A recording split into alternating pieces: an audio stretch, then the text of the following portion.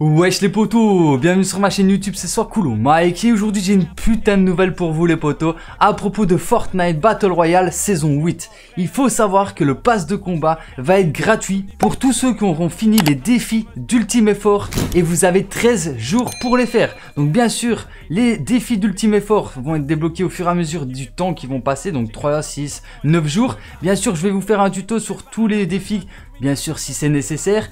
Et franchement, si vous avez fini vos 20 défis, c'est officiel, ça a été annoncé par, euh, par Epic Games, vous obtiendrez le pass de combat gratuitement. Le pass de combat de la saison 8 gratuitement. Et pourquoi ils font ça? Bah sûrement pour rivaliser contre Apex, parce que eux mon pote, un Fortnite Epic Games, ils se laisseront pas marcher dessus comme Call of Duty les potos, c'est juste insane.